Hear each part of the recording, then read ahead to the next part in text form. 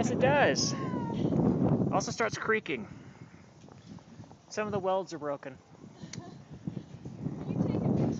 Yeah. I got video of you. Do you want an actual picture picture? Uh, yeah.